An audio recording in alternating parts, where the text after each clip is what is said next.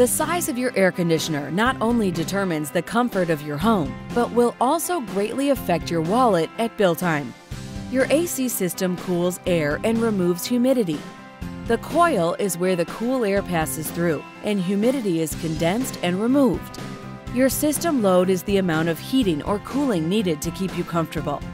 The size and number of windows, the insulation values of your roof and walls, number of people in your home, number of appliances, and ceiling height are all measurements used to determine the size of unit that you need. Oversized units will cost more to run as they will turn on and off too quickly and not remove the humidity sufficiently. This quick cycling will increase your bills.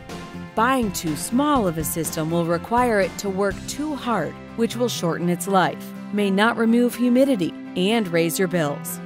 To ensure the optimum comfort and efficiency, make sure to call the HVAC experts at Roman Electric before purchasing a new air conditioner.